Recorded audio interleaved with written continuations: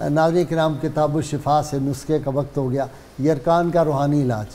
अगर किसी शख्स को यरकान हो गया हो तो हो तो सूरतुलबैना लम याकिन लजीन काफरू, पारा नंबर तीस की सूरह मुबारक लिख कर उसके गले में डालें।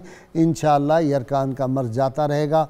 ये मुजरब अमल है और शर्त यह है कि कम अज़ कम ग्यारह ग्यारह मरतबा कोई भी दरूद पाक जो आपको आता ज़रूर पढ़ें।